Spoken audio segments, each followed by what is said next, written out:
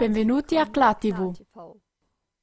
Nei mass media pubblici gli articoli, video e commenti vengono cancellati nonostante la loro importanza dopo un tempo predefinito che varia tra 7 giorni e 12 mesi e quindi tolto irrevocabilmente l'accesso ai loro utenti. Ma spariscono anche dei video attuali, per esempio quelli che illustrano criticamente il ruolo dei paesi occidentali rispetto alla crisi in Ucraina. A fine 2013, per questa cancellazione dispendiosa, sono stati persino concessi ulteriori contributi dai canoni radiotelevisivi tedeschi. Concludiamo con una citazione di Friedrich Hebel. Ci vuole più coraggio per cambiare la propria opinione che per rimanerle fedele.